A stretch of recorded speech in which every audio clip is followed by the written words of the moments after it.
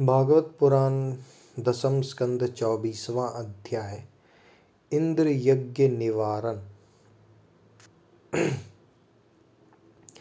भागवत पुराण दसम स्कंद चौबीसवां अध्याय इंद्र यज्ञ निवारण। श्री सुखदेव जी कहते हैं, परीक्षित भगवान श्री कृष्ण बलराम जी के साथ वृंदावन में रहकर अनेकों प्रकार की लीलाएँ कर रहे थे। उन्होंने एक दिन देखा कि वहाँ के सब गोप इंद्र यज्ञ करने की तैयारी कर रहे हैं। भगवान श्री कृष्ण सबके अंतर्यामी और सर्वज्ञ हैं। उनसे कोई बात छिपी नहीं थी। वे सब जानते थे, फिर भी विनयावनत होकर उन्होंने नंद बाबा आदि बड़े बूढ़े गोप से, गोपों से पूछा, पिताजी, आप लोगों के सामने यह कौन सा बड़ा भारी काम, कौन सा उत्सव आ पहुँचा है, इसका फल क्या है? किस उद्देश्य, कौन लोग, किस साधना के द्वारा यह यज्ञ किया करते हैं? पिताजी, आप मुझे यह अवश्य बतलाइए। आप मेरे पिता हैं और मैं आपका पुत्र। ये बातें सुनने के लिए मुझे बड़ी उत्कंठा भी है। पिताजी जो संत पुरुष सबको अपनी आत्मा मानते हैं, जिनकी दृष्टि में अपने और पराये का भेद नहीं है, जिनका ना कोई मित्र है, ना शत्रु और ना उदासीन, उनके पास छिपाने की तो कोई बात होती ही नहीं। परंतु यदि ऐसी स्थिति न हो तो रहस्य की बात, शत्रु की भांति उदासीन से भी नहीं कहनी चाहिए। मित्र तो अपने समान ही कहा कहा गया है, इसलिए उससे कोई बात छिपाई नहीं जाती। यह संसारी मनुष्य समझे, बेसमझे, अनेकों प्रकार के कर्मों का अनुष्ठान करता है। उनमें से समझ बूझ कर करने वाले पुरुषों के कर्म जैसे सफल होते हैं, वैसे बे समझ के नहीं। अतः इस समय आप लोग जो क्रिया योग करने जा रहे हैं, वह सुहृदों के साथ विचारित शास्त्र सम्मत है अथवा अलौकिक ही है।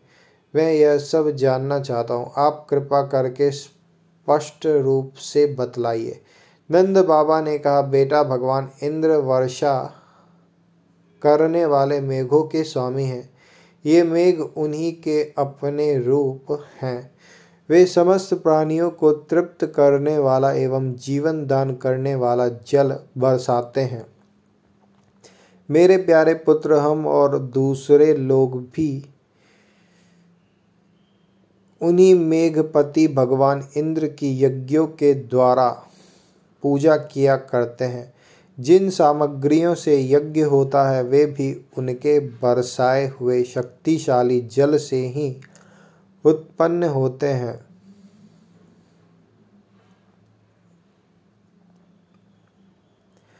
उनका यज्ञ करने के बाद जो कुछ बच रहता है, उसी अन्न से हम सब मनुष्य, अर्थ, धर्म और काम रूप, त्रिवर्ग की सिद्धि के लिए अपना जीवन निर्वाह करते हैं। मनुष्यों के खेती आदि प्रयत्नों के फल देने वाले इंद्र ही हैं। यह धर्म हमारी कुल परंपरा से चला आया है। जो मनुष्य काम, लोभ, भय अथवा द्वेष वश ऐसे परंपरागत धर्म को छोड़ देता है, उसका कभी मंगल नहीं होता। श्री सुखदेव जी कहते हैं, परीक्षित ब्रह्मा शंकर आदि के भी शरण श्री सुखदेव जी कहते हैं, परीक्षित ब्रह्मा शंकर आदि के भी शासन करने वाले केशव भगवान ने नंद बाबा और दूसरे व्रजवासियों की बात सुनकर इंद्र को क्रोध दिलाने के लिए अपने पिता नंद बाबा से कहा। श्री भगवान ने कहा, पिताजी, प्राणी अपने कर्म के अनुसार ही पैदा होता है और कर्म के से ही मर जाता है। उन्हें उसके कर्म के अनुसार ही सुख, दुख, भय और मंगल के निमित्तों की प्राप्ति होती है। यदि कर्मों को हम सब कुछ न मानकर उनसे भिन्न जीवों के कर्म का फल देने वाला ईश्वर माना भी जाए तो वह कर्म करने वालों को ही उनके कर्म के अनुसार फल दे सकता है। कर्म न करने वालों पर उनकी प्रभुता नहीं चल सकती। जब सभी प्राणी अपने अपने कर्मों का ही फल भोग रहे हैं, तब हमें इंद्र की क्या आवश्यकता है? पिताजी, जब वे पूर्व संस्कार के अनुसार प्राप्त होने वाले मनुष्यों के कर्म फलों को बदल ही नहीं सकते, तब उनसे प्रयोजन। तब उनसे प्रयोजन। मनुष्य अपने स्वभाव पूर्व संस्कारों के अधीन है, वह उसी का अनुसरण करता है। यहाँ तक कि देवता, असुर, मनुष्य आदि को लिए हुए यह सारा जगत स्वभाव में ही स्थित है। जीव अपने कर्मों के अनुसार उत्तम और अधम शरीरों को ग्रहण करता और छोड़ता रहता है। मनुष्य अपने जीव अपने कर्मों के अनुसार उत्तम और अधम शरीरों को ग्रहण करता और छोड़ता रहता है। अपने कर्मों के अनुसार ही यह शत्रु है, यह मित्र है, यह उदासीन है। ऐसा व्यवहार करता है। कहाँ तक कहूँ, कर्म ही गुरु है और कर्म ही ईश्वर।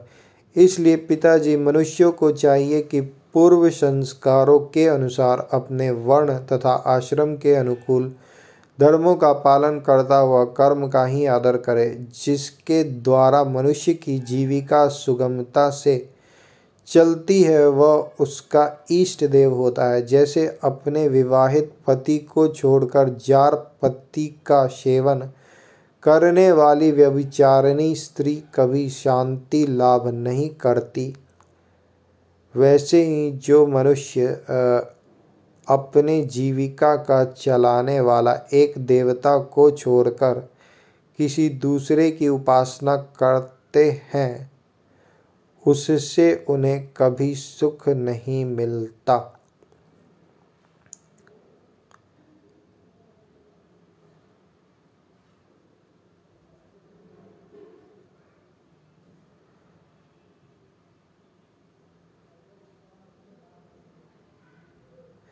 ब्राह्मण वेदों के अध्ययन, अध्यापन से क्षत्रिय पृथ्वी पालन से वैश्य वार्ता वृत्ति से और शूद्र ब्राह्मण क्षत्रिय और वैश्यों की सेवा से अपनी जीविका का निर्वाह करे। ब्राह्मण वेदों के अध्ययन अध्यापन से, क्षत्रिय पृथ्वी पालन से, वैश्य वार्ता वृत्ति से और शूद्र ब्राह्मण क्षत्रिय और वैश्यों की सेवा से अपनी जीविका का निर्वाह करे। वैश्यों की वार्ता वृत्ति चार प्रकार की है। वैश्यों की वार्ता वृत्ति चार प्रकार की है। कृषि, वाणिज्य, गौरक्षा और ब्याज लेना।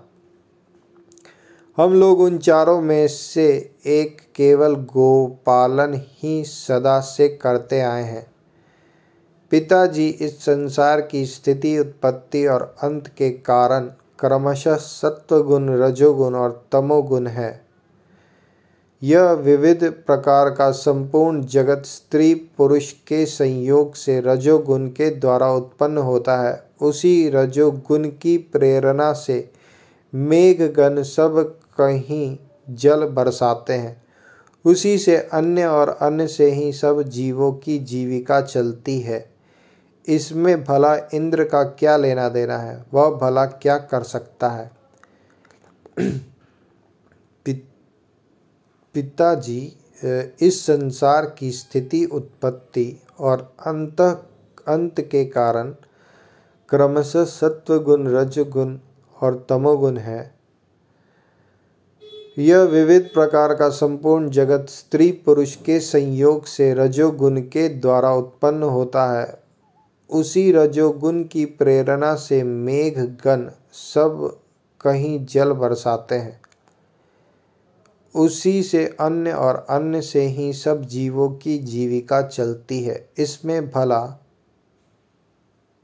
इंद्र का क्या लेना देना है? वह भला क्या कर सकता है? पिताजी, ना तो हमारे पास किसी देश का राज्य है और ना तो बड़े बड़े नगर ही हमारे अधीन हैं।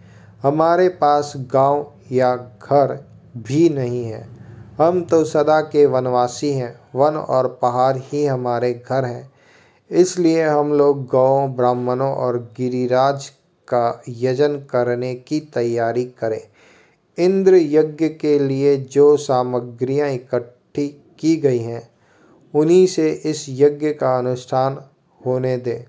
अनेकों प्रकार के पकवान, खीर, हलवा, पूरी, हलवा, पुआ, पूरी आदि से लेकर मूंग की दाल तक बनाए जाए।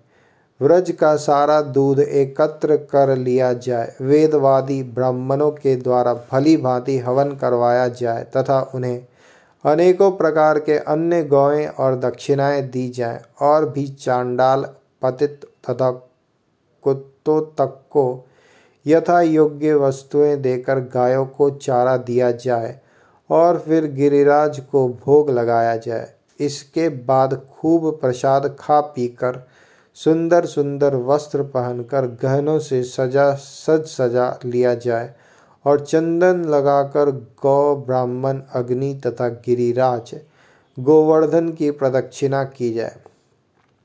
पिताजी, मेरी तो ऐसी ही सम्मति है। यदि आप लोगों को रुचे तो ऐसा ही कीजिए। ऐसा यज्ञ गौ, ब्राह्मण और गिरिराज को तो प्रिय होता ही मुझे भी बहुत प्रिय है। श्री सुखदेव जी कहते हैं, परीक्षित कालात्मा भगवान की इच्छा थी कि इंद्र का घमंड चूर चूर कर दे। नंद बाबा अब आदि गोपों ने उनकी बात सुनकर बड़ी प्रसन्नता से स्वीकार कर ली। भगवान श्री कृष्ण ने जिस प्रकार यज्ञ करने का, करने को कहा था, वैसा ही यज्ञ उन्होंने प्रारंभ किया। पहले ब्राह्मणों से स्वास्थ्य वाचन कराकर उसी सामग्री से गिरिराज और ब्राह्मणों को सादर भेंटें दी तथा गौों को हरी हरी घास खिलाई। इसके बाद नंद बाबा आदि गोपों ने गौ को आगे करके गिरिराज की प्रदक्षिणा की। ब्राह्मणों का आशीर्वाद प्राप्त करके वे और गोपियाँ भली भांति श्रृंगार करके और बैलों से जुती गाड़ियों पर सवार होकर भगवान श्री कृष्ण की लीलाओं का गान करती हुई गिरिराज जी की परिक्रमा करने लगे, करने लगी। भगवान श्री कृष्ण गोपों को विश्वास दिलाने के लिए गिरिराज के ऊपर एक दूसरा विशाल शरीर धारण करके प्रकट हो गए तथा मैं गिरिराज हूँ, इस प्रकार कहते हुए सारी सामग्री आरोगने आरोगने लगे।